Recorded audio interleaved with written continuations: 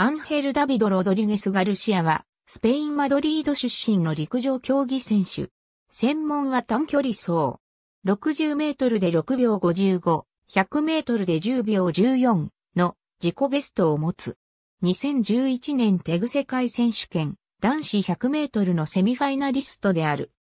7月2日、サラマンカで行われた大会の男子100メートルで10秒14のスペイン記録を樹立し、ベナンシオ・ホセが保持していた従来の記録を0秒03塗り替え、スペイン史上2人目となる10秒1台に突入した。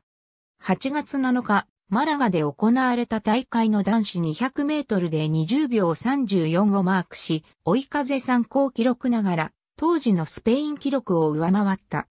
8月、テグ世界選手権の男子100メートル予選を10秒37の組3着で突破し、男女通じてスペイン勢初となる世界選手権の100メートルセミファイナリストとなった。準決勝では予選よりもタイムを落とし、10秒49で組7着に終わった。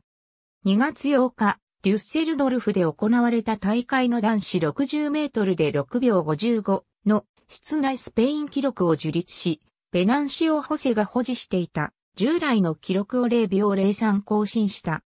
7月13日、マドリードミーティングの男子100メートルで10秒15をマークし、33歳ながら自身の持つスペイン記録に0秒01差と迫った。8月、モスクワ世界選手権の男子100メートルと男子400メートルリレーに出場。男子100メートルは予選で組3着までに入れば着順で準決勝に進出できたが、結果は10秒23の組4着に終わり、組3着とは0秒02差で惜しくも準決勝進出を逃した。男子400メートルリレーは予選でスペインチームのアンカーを務め、38秒46のスペイン記録樹立に貢献したものの、0秒05差で決勝進出を逃した。6月3日、カルロス・ギル・ペレス記念の男子100メートルで10秒12をマーク。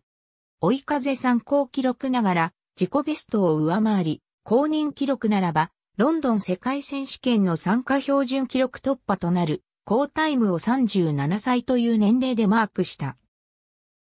スペインのサッカークラブ、レアル・マドリード所属のクリスティアーノ・ロナウドと25メートル勝負をしたことがある。勝負は直線とジグザグの2本で、直線の勝負は3秒31をマークして、ロナウドに勝利したが、ジグザグの勝負は6秒35をマークしたロナウドに敗れた。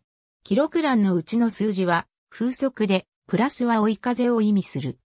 備考欄の記録は、当時のもの、アンヘル、デビッド・ロドリーゲスで入るレコードで、エスパーニャで 100EN10.14。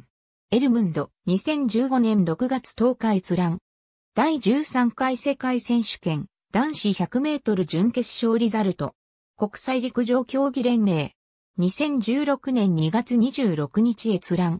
アンヘル、デビッド・ロドリーゲス、レコードでエスパーニャで60メトロズ。エルムンド、2015年6月10日閲覧。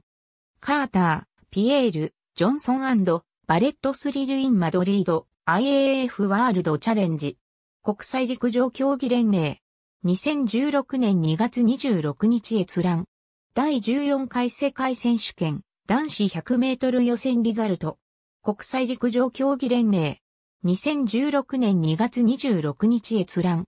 第14回世界選手権。男子400メートル。リレー予選サマリー。国際陸上競技連盟。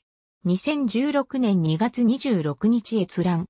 エンサラマンカセルジオ・フェルナンデス 49.34Y エウセビオ・キャセラス8.08スペイン陸上競技連盟。